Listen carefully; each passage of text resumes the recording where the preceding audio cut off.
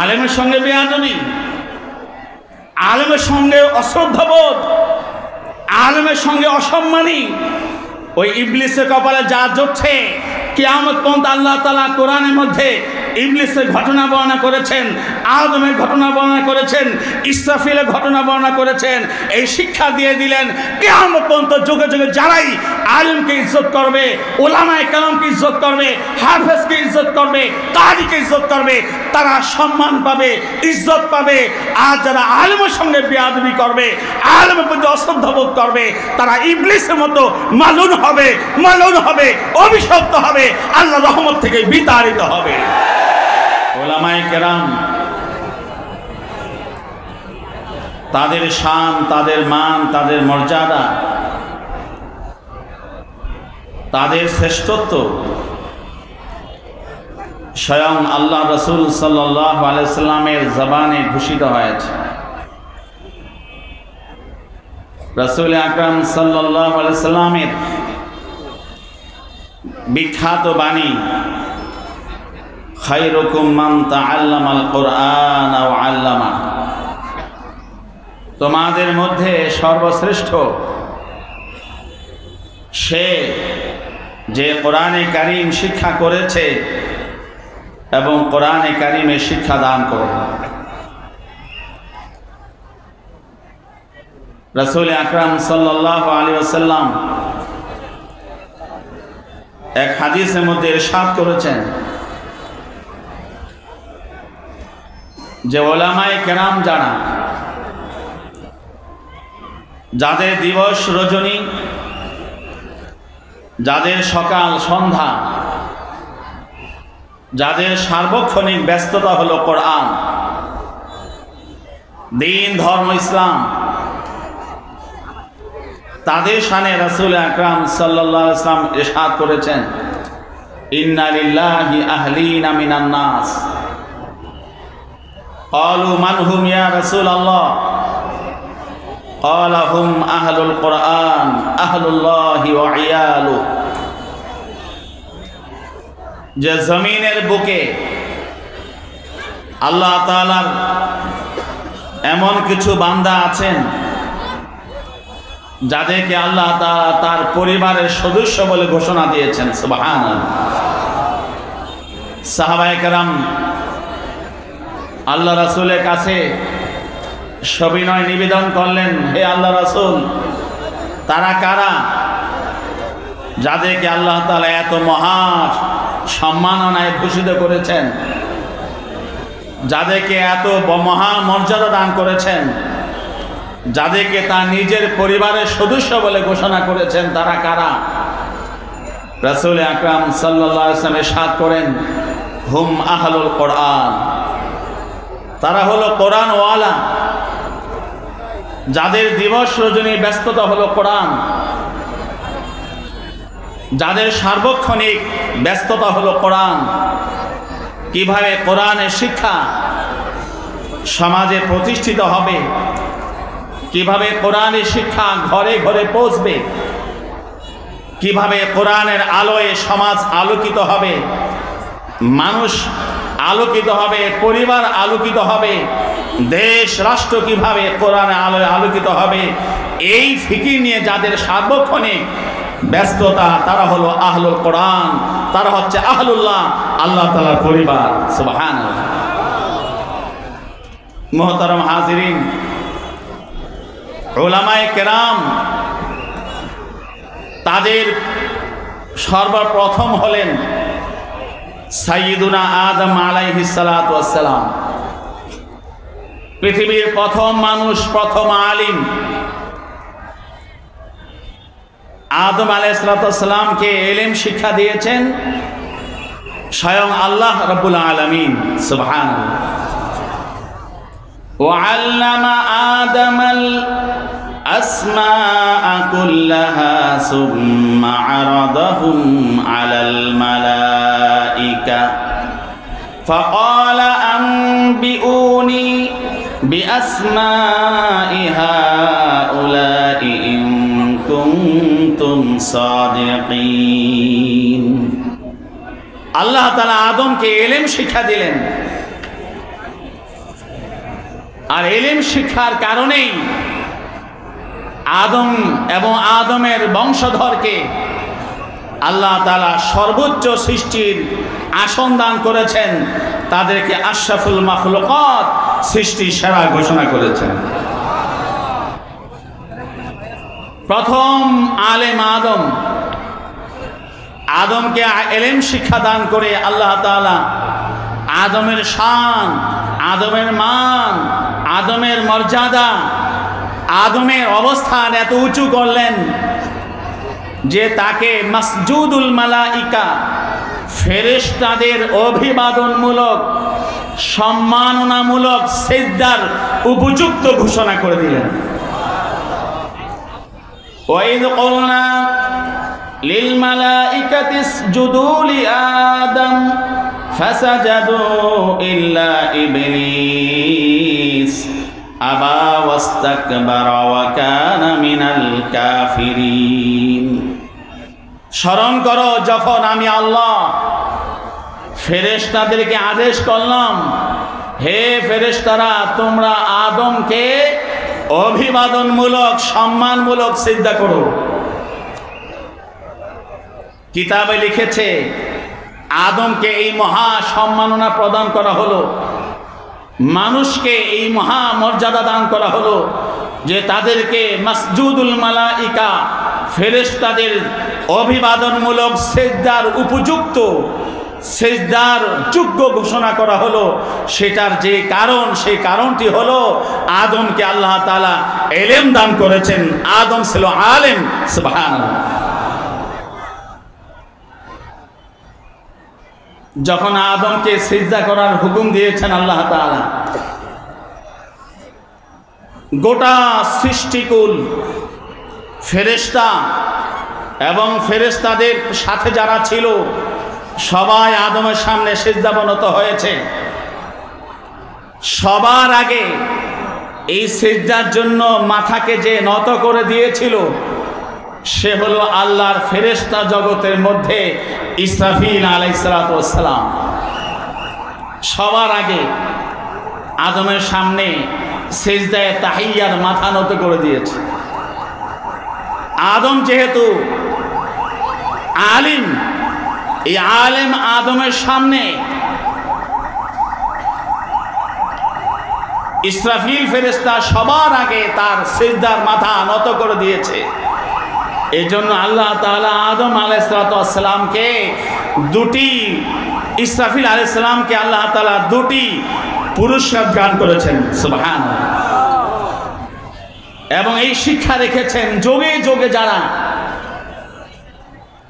আলেমকে ইজ্জত করবে, আলেমকে সম্মান করবে, আলেমের সামনে যে নিজেকে অবনত রাখবে আল্লাহ তালা যোগে যোগে ইসরাফিলকে যেভাবে দুটি পুরস্কারে ভূষিত করেছেন, যোগে যোগে আল্লাহ তালা সেই মানুষকেও সেভাবে পুরস্কৃত করবেন।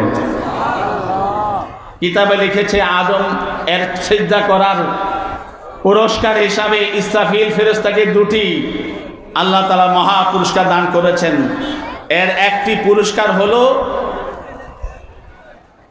যে আল্লাহ তালা এলেমের উৎস সমস্ত এলেমের বুনিয়াদ, দুনিয়াতে যত এলিম আছে, এই সমস্ত এলিমের উৎস হলো কোরআন।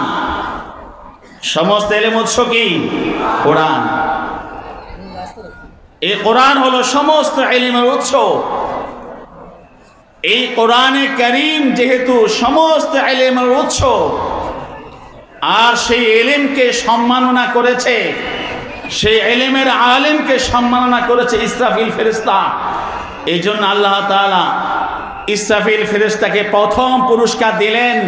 এই কোরআনকে ইসরাফিলের কপালের মধ্যে আল্লাহ তালা লিখে এই আমদ পর্যন্ত সংরক্ষণের ব্যবস্থা করেছেন। হাফেজদের সিনার মধ্যে কোরআন সংরক্ষণ হয়। হাফেজদের সিনার মধ্যে কোরআন হেফাজত হয়। কোরআন হেফজ হয়। আর ফেরেস্তা জগতের মধ্যে, ইসরাফিলের কপালের মধ্যে পুরো কোরআন আল্লাহ হেফাজত করেছেন।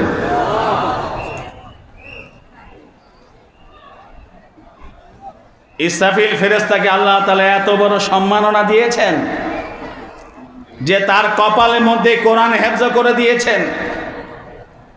ওলামায় কারাম লিখেছেন, যোগে যোগে যখন যে যেখানে এই কোরআনকে ইজ্জত দিবে, কোরআনের আলেমকে ইজ্জত দিবে, কোরআনের কারিকে ইজ্জত দিবে কোরআনে হাফেজকে ইজ্জত দিবে, আল্লাহ তালা তাকে এবং তার ঘরে কোরআনের হেফজ নসিব করবেন।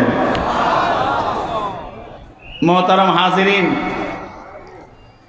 এই কোরআনের প্রতি সম্মাননা যারা দেখাবে, এই কোরআনের কারি, কোরআনের আলিম কোরআনে হাফেজকে যারা ইজ্জত সম্মান দেখাবে আল্লাহ তালা তাদের বংশে কোরআনে হাফেজ পদা করে দিবেন। তাদের কপালে আল্লাহ তালা কোরআনের ফয়সালা করবেন তাদের বংশে আল্লাহ কোরআনের হাফেজ পয়দা করে দিবেন। আমাদের বাংলাদেশের ঢাকা উত্তরাতে একজন প্রবীণ আল্লাহওয়ালা বুজুর্গ আছেন। হজরত হাফিজ হুজুর রহমতুল্লাহ আলাই ভারতের হারদুই হজরত রহমতুল্লাহ আলাইয়ের খলিফা হজরত প্রফেসর হামিদুর রহমান সাহেব মাদ্দাল্লাহ জিল্লাহু।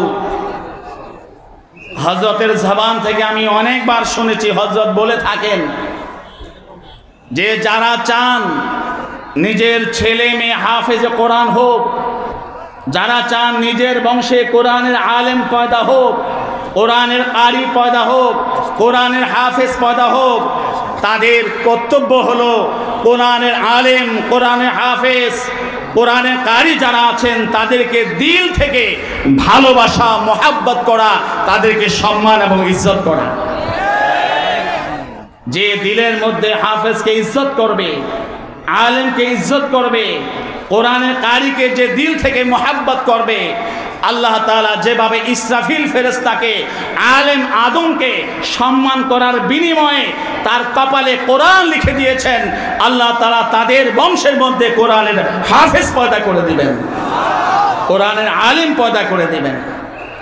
মোহতারম হাজিরিন, অনেকেই ছেলেকে মাদ্রাসায় দেই আমরা, অনেকেই নিজেদের বংশধরকে মাদ্রাসায় দেই। বড় নিয়ত থাকে যে আমার ছেলে, আমার এই নাতি, আমার এই বংশধর কোরআনে হাফেজ হোক, আলেম হোক, মুফতি হোক, মুহাদ্দিস হোক, এমন সুন্দর, ভালো স্বপ্ন আমরা অনেকেই দেখি, কথাটি কেনা বলেন।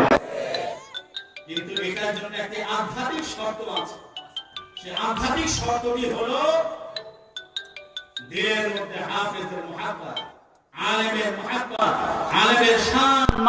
মর্যাদার স্বীকৃতি লালন করতে হবে। এক্ষেত্রে আজকে আমাদের বহু ঘাটতি।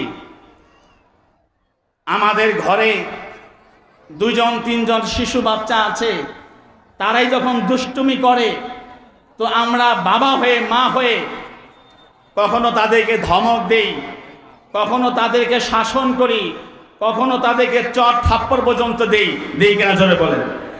এমন কে আছে যে আমার সন্তানকে আমি কোনোদিন শাসন করিনি, কোনোদিন ধমক দেইনি, এমনটা হয়নি? এটা স্বাভাবিক একটি ব্যাপার, একটি ন্যাচারাল ব্যাপার। এটা করতেই হবে শিশুদেরকে আদর্শবান, চরিত্রবান, তাদেরকে আদব কায়দা শেখাতে হলে কিছু না কিছু শাসন লাগবেই, কথা ঠিক না বলে আমাদের মাদ্রাসার মক্তবগুলোতে নুরানি মাদ্রাসাগুলোতে, শিশু প্রাইমারি বিভাগগুলোতে আমাদের বাচ্চারা পড়ে। আমি প্রসঙ্গটা এই জন্য বলছি, অনেক সময় দেখা যায় যে ওস্তাদজি বাচ্চাদের দুষ্টমি বন্ধ করতে গিয়ে বাচ্চাদেরকে শৃঙ্খলার সঙ্গে রাখতে গিয়ে কখনো কোনো বাচ্চাকে ধমক দেন, কখনো কোনো বাচ্চাকে হালকাভাবে একটু থাপ্পড় দেন কিংবা ব্যাট দিয়ে একটু আঘাত করেন। এটা শাসনের খাতিরে করতেই হয়। যেখানে আমার ঘরে দুজন, তিনজন বাচ্চাকে নিয়ন্ত্রণ করে আমার জন্য মুশকিল হয়ে যায়, সেখানে একটি মাদ্রাসার শিক্ষাঙ্গনে চল্লিশ, পঞ্চাশ, ষাট, সত্তর জন শিশু একত্রে থাকে। ষাট, সত্তরটি ঘর থেকে বাচ্চারা আসে। সবার রুচি, সবার মনন, সবার অবস্থা একরকম নয়। বিভিন্ন রুচির, বিভিন্ন মানসিকতার। সেখানে একটু বিশৃঙ্খলা হয়েই যায়, সেখানে শৃঙ্খলা রক্ষার জন্য একটু কঠোরতা করতেই হয়। কথা ঠিক কিনা বলেন? কিন্তু দুঃখজনক, আমি গাজীপুর জেলা বিভাগের সভাপতি হিসাবে এরকম বহু অভিযোগ আমার কাছে আসে যে ছাত্র গার্ডিয়ান ছাত্র অভিভাবক ওস্তাদের বিরুদ্ধে থানায় গিয়ে নালিশ করে। অনেক সময় সাংবাদিক নিয়ে আসে থানার পুলিশকে নিয়ে আসে। ওস্তাদকে সাহায্য করবার জন্য, কারি সাহেবকে সাহায্য করবার জন্য হাবের সাহেবকে সাহায্য করার জন্য। এটা অত্যন্ত দুঃখজনক, কথা ঠিক কেনা বলেন? মোহতারাম ভাই, বন্ধুরা, যদি আমি চাই আমার সন্তান হাফেজ হোক, আমি যদি চাই আমার সন্তান আলেম হোক, আমি যদি চাই আমার সন্তান কোরআনের খাদিম হোক, তাহলে সর্বপ্রথম আধ্যাত্মিক শর্ত যেটা সেটা হলো আমার এই হৃদয়ের গভীরে আলেমের প্রতি, হাফেজের প্রতি, ওলামাদের প্রতি, বিশেষ করে আমার সন্তান যে শিক্ষকদের কাছে পড়বে, আমার সন্তানকে যারা আলিফ বা তাসা পড়ায়, তাদের প্রতি গভীর প্রেম, মোহাব্বত, ভালোবাসা, শ্রদ্ধা এবং সম্মাননা বোধ লালন করতে হবে। তাহলে আপনি আশা করতে পারেন যে আপনার সন্তানকে আল্লাহ তাআলা হেফজের দৌলত দান করবেন, কোরআনের দৌলত দান করবেন, এই এলমে দিনের দৌলত দান করবেন, তাকে আলেম, হাফেজ, কারি, মুফতি মহাদিস বানাবেন, দিনের খাদেম, দিনের সেবক হিসাবে আল্লাহ তাআলা তাকে কবুল ও মঞ্জুর করবেন। মোহতারা হাজির বলছিলাম ইস্তাফিল ফেরেস্তা এই একটি বিষয় যে সে আদম আলিমকে সম্মান করেছে এই জন্য আল্লাহ তালা তাকে প্রথম পুরস্কার দিলেন তার কপালের মধ্যে কোরআন আল্লাহ তালা লিখে হেফাজত করে দিলেন। দুই নাম্বার ইস্তাফিল ফেরেস্তাকে আল্লাহ তালা দ্বিতীয় যে পুরস্কারটি দিয়েছেন সেটি হল এই পৃথিবী, এই মহাবিশ্ব। এই মহাবিশ্বকে আল্লাহ তালা সৃষ্টি করেছেন স্থায়ীভাবে নয়, এই মহাবিশ্বকে আল্লাহ তালা ধ্বংস করে দিবেন এই দুনিয়ার জগৎ ধ্বংস হয়ে আখেরাত আল্লাহ তালা প্রতিষ্ঠিত করবেন, সে আখেরাত হবে সীমাহীন, অসীম। এই মহাবিশ্বের যে ব্যবস্থাপনা, এই মহাবিশ্বের যে নিয়ন্ত্রণ, এই মহাবিশ্বের যে স্থায়িত্ব, এটাকে আল্লাহ তালা একটি প্রতীকী রূপ দান করেছেন। কোরআনে কারিমে তার শব্দ এসেছে সোর। বাংলায় বলি আমরা সিংহা। এই সিংহা হলো এই মহাবিশ্বের স্থায়িত্বের প্রতীক। আল্লাহ তাআলা এই সিংহা সৃষ্টি করেছেন এবং এই সিংহার জিম্মাদারি দিয়েছেন ইসরাফিল ফেরেস্তার হাতে। ইসরাফিল ফেরেস্তাকে যখন আল্লাহ হুকুম দিবেন, ইসরাফিল ফেরেস্তা ওই সিংহার মধ্যে ফুৎকার দিবে, এই মহাবিশ্ব তসনস হয়ে যাবে, কেয়ামত সংগঠিত হবে সব কিছু ধ্বংস হয়ে পরকাল এবং আখেরাত প্রতিষ্ঠা লাভ করবে। কোরআনে কারিমে কয়েক জায়গায় আল্লাহ তাআলা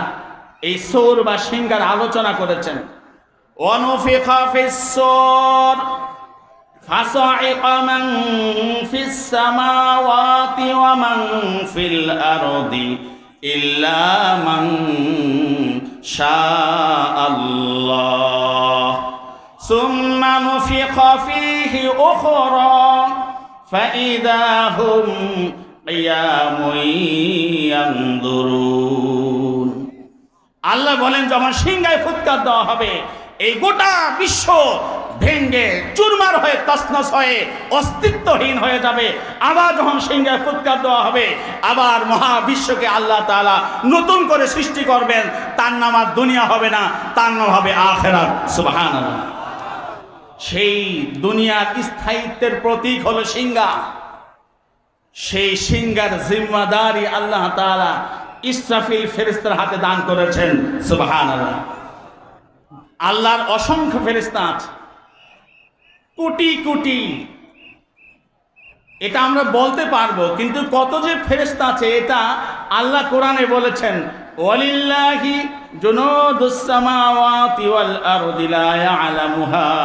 ইল্লাহু। আল্লাহ যে কত ফেরেস্তা আছে, এটা কেউ জানে না, আল্লাহ জানে না। এই অসংখ্য ফেরেস্তার মধ্য থেকে ইসরাফিল ফেরেস্তাকে আল্লাহ তালা এই সিঙ্গার ধারক কেন বানালেন? এই সিঙ্গার গ্রহণকারী, সিঙ্গা বহনকারী কেন বানালেন? সিঙ্গা ফুৎকারকারী কেন বানালেন? এটা রহস্য সম্পর্কে কিতাবে লিখেছে যে ইসরাফিল ফেরেস্তা যেহেতু আদম আলেমকে সবার আগে সেজদা করে, সম্মাননা প্রদর্শন করেছে এই জন্য আল্লাহ তাআলা ইসরাফিলকে কেমন পর্যন্ত এমন একটা ক্ষমতা দিয়েছেন, যে ক্ষমতা কেমন পর্যন্ত স্থায়িত্ব লাভ করবে।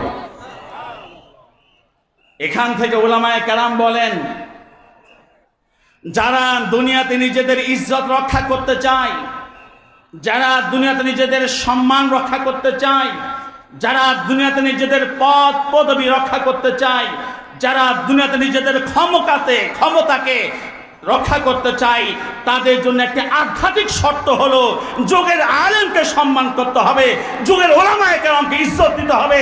যারা আলেমদের সঙ্গে বেয়াদবি করে, আলেমদের বিরুদ্ধে অবস্থান নেয়, তাদের ক্ষমতা টিকে না টিকতে পারে না, টিকতে পারেনি কখনো।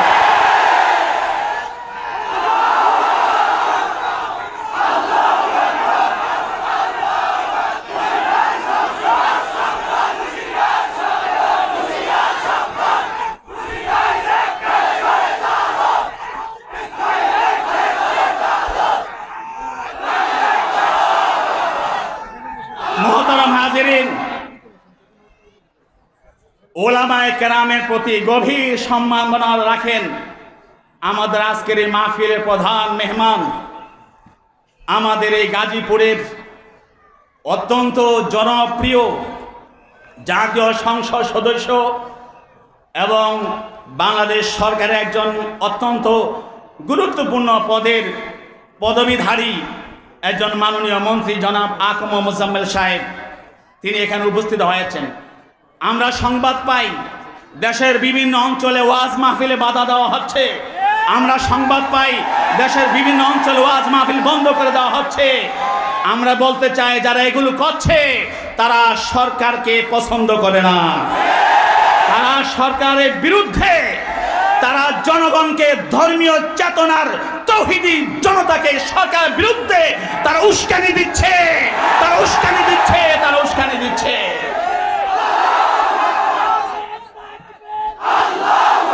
আমি যতটুকু জানি, আমাদের গাজীপুরে কোথাও কোনো মাহফিল বন্ধ হয়নি, হবে না ইনশাআল্লাহ। আমাদের মন্ত্রী মহোদয় ওলামাদেরকে ইজ্জত করেন, সম্মান করেন, তার কর্মীর, কর্মীরা ওলামাদেরকে ইজ্জত করেন, সম্মান করেন। আমাদের মন্ত্রী মহোদয় এক নয়, একাধিক কমি মাদ্রাসা তিনি সভাপতি হয়ে আসেন। তার দিলে ওলামাদের সম্মান আছে বলে গাজীপুরে ইসলাম জিন্দা আছে, মাহফিল চলছে, মাহফিল চলবেই চলবে ইনশাআল্লাহ। মোহতারাম হাজিরিন, ওলামাদেরকে যারা সম্মান দেয়, তাদের ক্ষমতা স্থায়িত্ব হয়। ইস্তাফিল ফেরেস্তাকে আল্লাহ তালা এই মহাবিশ্বের প্রতীক সিঙ্গার মালিক বানিয়েছেন। আমরাও আশাবাদী আমাদের মন্ত্রী মহোদয় সহ আমাদের এই অঞ্চলে যারা রাজনৈতিক কর্মী এবং নেতা আছেন, তারা যদি ওলামাদেরকে ইজ্জত করেন, সম্মান করেন, তাদের পদ স্থায়িত্ব পাবে, তাদের আসন স্থায়িত্ব পাবে, তাদের সম্মান স্থায়িত্ব পাবে, ইনশাআল্লাহ। কিন্তু হুঁশিয়ারিও আমরা করে দেই। কোরআনের ভাষায়, হাদিসের ভাষায় আলেমদের বিরুদ্ধে অবস্থান নিলে, আলেমদের শান, মান, মর্যাদা নষ্ট করলে কেউ কোনো কোনোদিন টিকে নাই ভবিষ্যৎ টিকবে না, টিকতে পারবে না। মোহতারাম হাজিরিন, ইসলামী ফেরেস্তা আদম আলেমকে সম্মান করেছে, দুই পুরস্কার পেয়েছে। একটা হলো তার কপালে আল্লাহ কোরআন লিখে দিয়েছে। দুই নাম্বার পুরস্কার পুরস্কার দিয়েছেন গোটা পৃথিবীর স্থায়িত্বের প্রতীক, সিঙ্গার মালিক, সিঙ্গার বাহক, সিঙ্গার ধারক, সিঙ্গার ফুৎকারকারী। আল্লাহ তালা ইস্তাফিলকে বানিয়ে দিয়েছেন সুবাহান আল্লাহ এর বিপরীতে দেখেন কলনা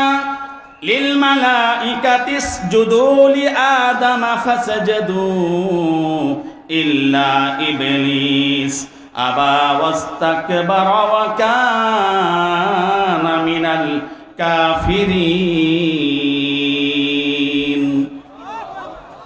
বললাম, আল্লাহ বলেন যে আমি বললাম, হে ফেরেশতারা, আদমকে সেজদা করো। ফেরেশতাদের সঙ্গে যারা আছো, তোমরাও আমাকে সেজদা করো। ফেরেশতাদের সঙ্গে ইবলিস নামে একটা ছিল। কে ছিল? ইবলিসে সেজদা করছিল? ইবলিস আদম আলমের প্রতি সম্মান দেখায়নি। ইবলিস আদম আলমের প্রতি সম্মান দেখায়নি। ইবলিস আদম আলমের সামনে অভিবাদনমূলক সেজ্জার জন্য আল্লাহর নির্দেশের আনুগত্যে মাথা নত করেনি। আবার আদম ইবলিস অস্বীকার করল। ওস্তাকবারা নিজের বড়ত্ব, নিজের গাম্ভীর্য, নিজের দাম্ভিকতা, নিজের অহংকার সে প্রদর্শন করল। কোরআনে আরেক জায়গায় আল্লাহ বলেছেন কলামা আল্লাহ আনা খলাকতাহু মিন নারিউ খলাকতানি মিন নারিউ ওয়া খলাকতাহু মিন তিন। এই ইবলিস, আমি হুকুম দিলাম আদম আলেমের সামনে, তুই অভিবাদনের মাথা নত করে দে, সম্মাননা মাথা নত করে দে। কেন তুই আদমের সামনে মাথা নত করলি না? কেন আদমকে তুই সেজদা করলি না? ইবলিস শয়তানি কি গো জানেন? কোরআনে আল্লাহ তালা ইবলিশ শয়তানের বক্তব্য উপস্থাপন করেছেন।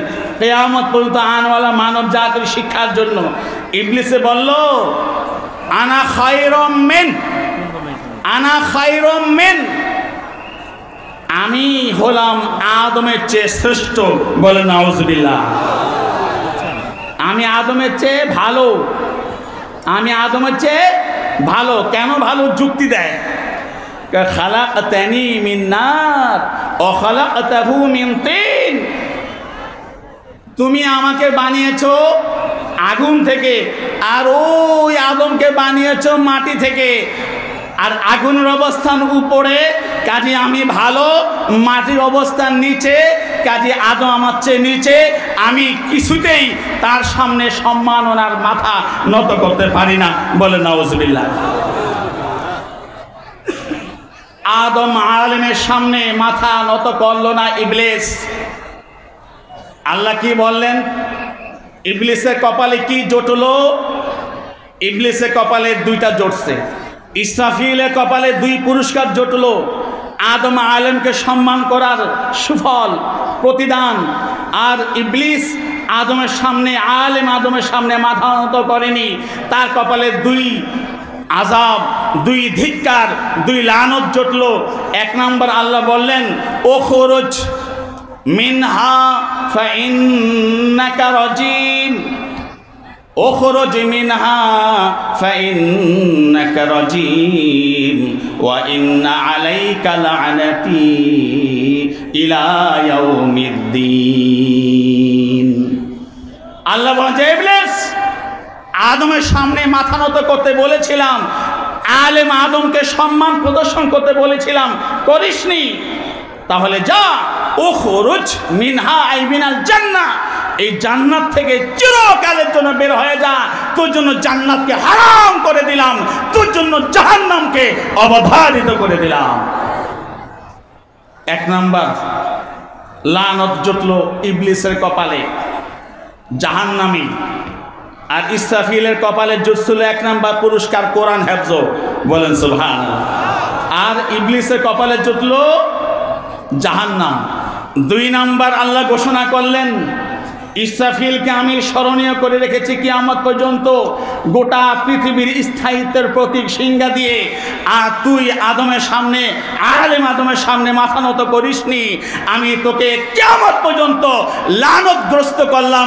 ওয়াইন্না আলিকা লানাতি ইলায়মের দিন সেই বিচার দিবস পর্যন্ত গোটা পৃথিবীতে তুই মালউন, অভিশপ্ত অভিশপ্ত সকালবেলা বাচ্চারা ঘুম থেকে উঠবে।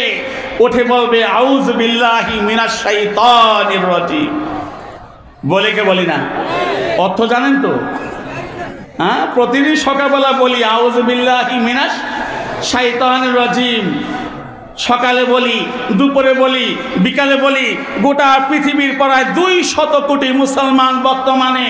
এই দুই শত কোটি মুসলমান প্রতিদিন কতশো কোটি বার যে বলে আউজবিল্লাহি মিনা শৈতানের রজিম।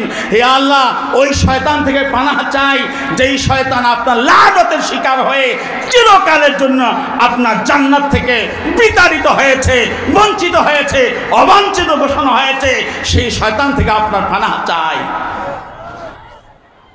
আলেমের সঙ্গে বেআনি আলেমের সঙ্গে অশ্রদ্ধাবোধ আলেমের সঙ্গে অসম্মানী ওই ইবলিসের কপালে যা জড়ছে কেয়ামত পর্যন্ত আল্লাহ তালা কোরআনের মধ্যে ইবলিসের ঘটনা বর্ণনা করেছেন, আদমের ঘটনা বর্ণনা করেছেন, ইসরাফিলের ঘটনা বর্ণনা করেছেন।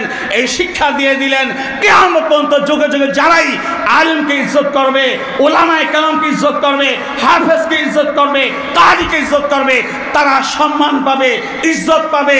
আর যারা আলেমের সঙ্গে বেয়াদবি করবে, আলেমের প্রতি অশ্রদ্ধাবোধ করবে, তারা ইবলিসের মতো মালুন হবে মালুন হবে, অভিশপ্ত হবে। আল্লাহ রহমত থেকে বিতাড়িত হবে। মহতারাম হাজিরিন, এই জন্য আমাদেরকে বুঝতে হবে বিষয়গুলো। গড্ডালিকা প্রবাহে গা ভাসিয়ে দিলে হবে না। ওলামায় কারাম হচ্ছেন আলো ওলামা ওরাসাতুল আম্বিয়া। ওলামায় কারাম হচ্ছেন নবীদের ওয়ারিস।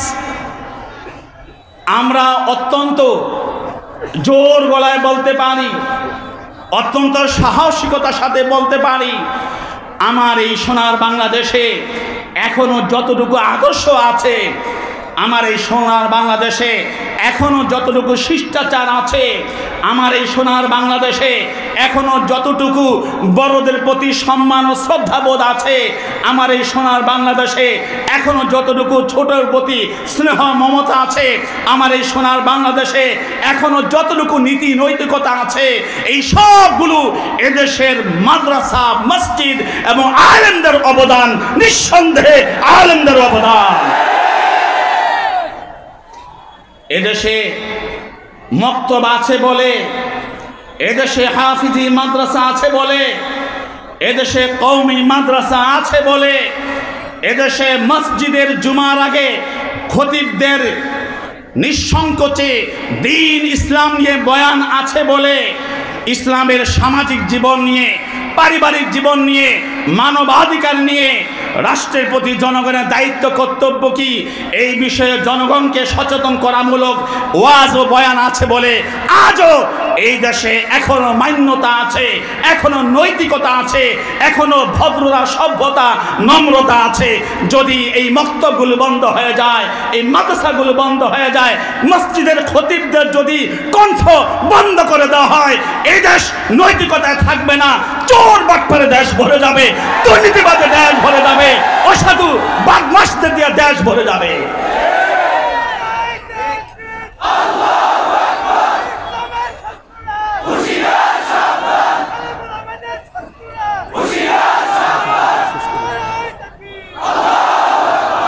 এই জন্য আজকে আমি আপনাদের সামনে বলতে চাই, পৃথিবীর ইতিহাসে দেশের মানুষের শাসন করেছে শাসকেরা, আর দেশের মানুষকে মানুষ বানিয়ে আদর্শ মানুষ বানাবার মেহনত করেছে আলেমরা। ওলামা এবং সরকার, এই দুটো যদি ঠিক, তাহলে দেশ ঠিক, জনগণ ঠিক। যদি ওলামা বিগড়ে যায়, কিংবা সরকার যদি বিগড়ে যায়, তাহলে দেশ, সরকার, জনগণ সব বিগড়ে যায়। কাজে আসুন আমরা যারা ওলামায় কেরাম আছি, সমাজ গঠনে দেশ গঠনে, ব্যক্তি গঠনে, আমরা আমাদের অবদান অব্যাহত রাখি, আমাদের মেহনত অব্যাহত রাখি। সরকারে যারা আছেন, তাদেরকেও আমরা বলব, হক কথা বলার জায়গা হলো মসজিদের মিম্বার। হক কথা বলার জায়গা হলো ওয়াজ মাহফিল। আজকে যদি মাহফিলে বসে, আমি গতকালকে গিয়েছিলাম খাগড়াছড়ি সেখানে গিয়ে ওলামায় কারামের সঙ্গে বসলাম। ওলামায় কারাম বললেন যে, হুজুর বড় মুসিবতের মধ্যে আছে। কি মুসিবত? কজে মাহফিলে ওয়াজের আগেই নেতারা বলে দেয় যে, হুজুর, কোন বক্তা এনেছেন? সেজন্য ঘুষের বিরুদ্ধে কোনো কথা না বলে, সুদের বিরুদ্ধে কোনো ওয়াজ না করে, সেজন্য মাদকের বিরুদ্ধে কোনো ওয়াজ না করে, সেজন্য যৌতুকের বিরুদ্ধে কোনো ওয়াজ না করে, যত ওয়াজ করবে করুক, কোনো অসুবিধা নাই, আসমানের উপরে, জমিনের নিচের ওয়াজ করুক, আর মাঝখানে এগুলো নিয়ে যেন কোনো কথা না বলে। আমি অদ্ভুত তাজ্জব হয়ে গেছি। বাংলাদেশে অবস্থা শুরু হয়ে গেছে। সুদের বিরুদ্ধে ওয়াজ করা যাবে না। আগেই বলে দেওয়া হয় বক্তাদেরকে। এর মানে কি? এর মানে ওর সমাজ সুদে ভরে গেছে। আর সুদের নেতৃত্ব দিচ্ছে সমাজের নেতৃত্ব দেয় তারা। সমাজ ঘুষে ভরে গেছে। ঘুষের নেতৃত্ব হচ্ছে তারা যারা সমাজে নেতৃত্ব দেয়। আমরা পরিষ্কার বলতে চাই এটা মুসলমানের দেশ। এটা ভদ্র, সভ্য, নম্র জনগোষ্ঠীর দেশ। এই দেশে সুদ চলতে পারে না। এদেশে দেশে ঘুষ চলতে পারে না। এই দেশে বিবাহের মধ্যে যৌতুক চলতে পারে না। এদেশে অন্যায়, জুলুম, দুর্নীতি চলতে পারে না। কাজেই এগুলো চলতে দেওয়া হবে না। যতই আমাদের জবান বন্ধ করার চেষ্টা করো, আমরা সুদের বিরুদ্ধে বলবই বলব, আমরা বেবিচারের বিরুদ্ধে বলবই বলব, আমরা ধর্ষণের বিরুদ্ধে বলবই বলব, আমরা সকল অন্যায়ের বিরুদ্ধে বলছি, বলে যাব, বলবই বলব ইনশা আল্লাহ ওয়াকুদাওয়ানা আনিল হামদুলিল্লাহ রবিল আলমিন। আসসালামু আলাইকুম রহমতুল্লাহি ওবরাকাত